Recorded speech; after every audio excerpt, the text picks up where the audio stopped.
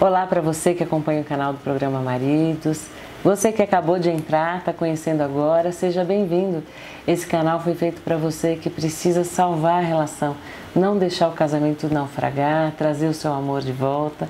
Aqui você encontra aquela luz no fim do túnel que tanto procurava. Eu espero que os meus conselhos façam a diferença na sua vida, como tem feito na vida de muita gente. Aproveito também para agradecer pelos comentários. Que bom que o clima está mudando na casa de vocês.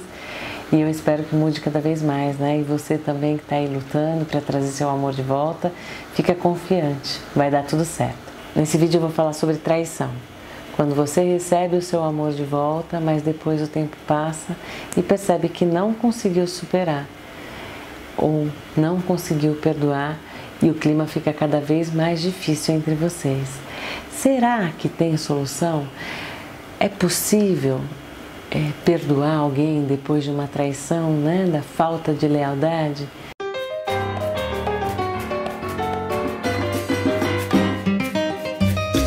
Eu vou ler aqui o comentário de uma das seguidoras do canal do programa Maridos que enfrenta o mesmo problema que você. O conselho que eu vou dar para ela com certeza vai fazer a diferença na sua vida também.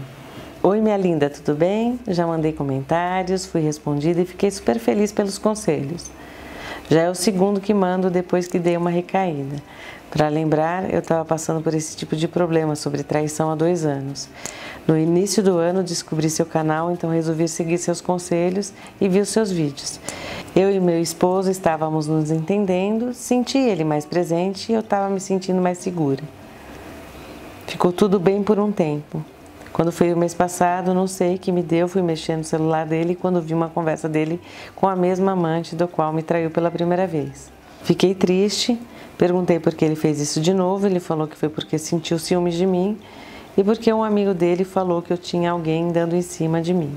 Fiquei muito magoada, sem palavras, mas não briguei. Ele me pediu desculpa por ter errado, pois ele fala que não quer me perder e que ainda me ama muito. Enfim, a mensagem está um pouquinho longa, né? Mas ela quis dizer isso. Os comentários são muito parecidos, né? Em relação à traição, né? Todo mundo se sente inseguro, ninguém gosta, né? Da, da falta de lealdade. Eu vou contar para vocês, né? Um caso que eu atendo durante a terapia matrimonial e eu conversei com o marido, né? Se você é marido também, imagina sempre né, a esposa, né? Quando eu falo marido, você imagine a esposa. Mas conversando com o marido, esse casal eu atendi num primeiro momento, a esposa me procurou e falou: Cris, eu preciso salvar o meu casamento e preciso da sua ajuda. E aí ela, com bastante empenho, com muita garra, foi seguindo os meus conselhos eu identifiquei qual era o problema deles, né? E ela teve que ter muita malícia, muita é, sabedoria, deu um salto na maturidade absurdo para conseguir lidar com aquele momento difícil que o marido já morava praticamente na casa dessa mulher, né? Já estava parte do tempo na casa dessa mulher e quase saindo de casa, né? Dizer que queria morar sozinho e coisa e tal. E eles com uma filha pequena, né? Casamento, né? Então, é, aos poucos, ela foi conseguindo chamar a atenção dele, né? E o mais importante é você chamar a atenção desse marido, ou você que é marido, conseguir chamar a atenção dessa esposa, né? E não é chamar a atenção para uma relação desgastada, né? Para momentos é, difíceis de desentendimento. É trazer esse marido, essa mulher de volta para um relacionamento mais sadio, para conversas mais é, agradáveis, né? E era muito difícil porque ele não estava mais encantado pela mulher, e sim pela amante. E ela lutando ali, mudou um pouco a rotina diária, né? É, que é o que eu falo para vocês fazerem aqui no canal do programa Maridos, assistindo a outros vídeos, aprendendo né, como tornar a convivência mais sadia. E ela fez isso e foi conseguindo aproximar esse marido. Enfim, os conselhos estão aí nos outros vídeos, por favor, devore, né? Mas tudo isso para falar que finalmente ela conseguiu trazer esse marido de volta. E ele ali confuso, né? Se tinha que é, ficar com a mulher dele ou não. É, afinal de contas, era muito difícil, né? Abrir mão de um novo sonho. Porque cá para nós, né? Nós não vamos ficar revelando isso para eles, né? É, mas observando, né? Procurando compreender a condição humana demais do outro, né? É, eles sonharam, né? Eles não estavam bem ao seu lado, enfim, ao nosso lado, e decidiram buscar uma nova vida, decidiram é, voltar a ser feliz. Afinal de contas, no casamento não eram mais felizes. Não vem ao caso aqui a gente dizer se você estava feliz ou não, né? Se ele era menos feliz que você ou não, né? Porque isso a gente já sabe. E assistindo outros vídeos, como eu disse, você pode buscar e encontrar algumas respostas. Mas o mais importante é que ele ficou confuso e depois decidiu ficar com a mulher. Mas a amante ainda perseguia, porque ela também estava no páreo, né? Ela queria ser promovida a esposa, ela tinha os sonhos dela. E ter esse sonho frustrado era algo inaceitável para essa mulher, que inclusive tinha personalidade muito forte. E foi inclusive disso que ele gostou, né? Era uma amiga, era uma amante, uma mulher firme e a mulher dele estava cada vez mais insegura. Então, gente, é, nesse momento de recaída, né? Então, se eu acolho o meu amor, seja minha mulher ou meu marido de volta, eu preciso entender, compreender que eu vou ter que aprender a lidar primeiro comigo, né? Como é que eu fico nessa história? Eu quero essa pessoa ao meu lado então eu vou ter que perdoar, não tem jeito, né? Ou aprender a compreender a situação.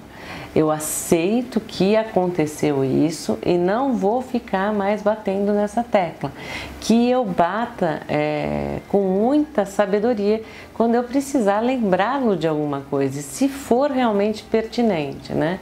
Como, por exemplo, meu casamento está muito bom agora, a gente tem momentos gostosos, a nossa casa tem paz, a nossa casa tem tranquilidade. E eu lembrá-lo, tá vendo, né? A gente tem que ficar mais atento, porque as tentações existem por aí. É, todo mundo está exposto, você está exposto, eu estou exposta, a gente tem que segurar a onda, nós precisamos defender o nosso casamento. Olha como é bom, né? Olha o que a gente ia perder. Para isso você pode lembrar. Agora, de outra forma, de jeito nenhum, não vamos trazer a presença dessas pessoas para dentro da nossa casa. Né? A gente tem paz, a gente tem tranquilidade, isso é coisa do inimigo, né? Vamos afastar, deixar bem longe, pedir a Deus, inclusive, que proteja o nosso lar, que abrande o coraçãozinho, né? Dos nossos amores, que eles tenham muita, muita sabedoria também, que eles possam também defender o lar, que eles saibam resistir, que eles deixem né, as tentações, se afastem, para que a gente tenha paz no nosso ambiente. Então, esse marido, né? que fez isso, que caiu em tentação de responder ou falar, interagir com essa mulher que ainda procura, é, verifica, né? Faça uma, uma reflexão se realmente a casa de vocês tem tudo isso né, que precisa ter. Uma boa convivência, uma cumplicidade, uma, uma é, intimidade para falar sobre problemas, uma ajuda mútua financeira, né? Você é parceira, ele é parceiro também. Se tudo isso está progredindo ao invés de retroceder, porque se retroceder, os sinais aparecem e aí ele se distrai com essas pessoas. Não que ah, então ele tem que se distrair porque isso aconteceu. Não, mas se o relacionamento vai bem, muito bem, você é um cúmplice dele. Ele é teu cúmplice e por acaso ele dá uma derrapada, você tem como ir firme ali. Chamar atenção, colocar esse homem ou essa mulher na linha, né? Como aquele filho que às vezes a gente precisa repreender também. Então, certifique-se primeiro se por acaso você também não está se acomodando um pouquinho nesse sentido. Não dá para acomodar. A gente precisa se mexer.